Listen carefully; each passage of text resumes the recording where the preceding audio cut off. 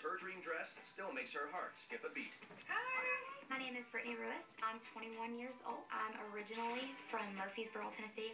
What'd you bring with you today? I brought my Aunt Jan. And then my future mother-in-law, Linda. Having my mother-in-law see the dress means everything to me. She's been through everything. She's had a heart transplant. She is the best mother-in-law I could ever ask for. Brittany's mother-in-law story touched Lori as well. I've had a long-standing relationship with the American Heart Association, and when I found out Brittany's circumstances, I had the perfect bride to donate one of the gowns to. My fiance's name is Christopher Kalejta.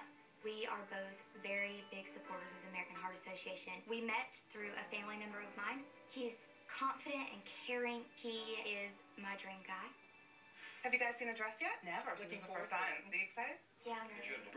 Brittany's dream gown is a fit and flare with a sweetheart neckline and a beaded belt. I'm feeling a little anxious for my mother-in-law to see the dress. I don't think it's something that she would have picked out. Oh, it's beautiful. Lori gave me something that I could never afford to have on my own. You ready to show your family? As I walk out and I step on the podium, I instantly look to my mother-in-law. Her face is definitely going to be the most important. I really hope that she likes it. What do you think?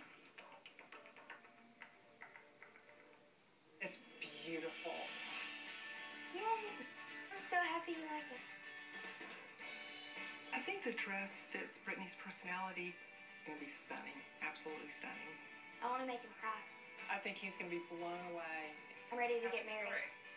I was lucky enough to be given my dream dress, and it's going to make my dream wedding complete.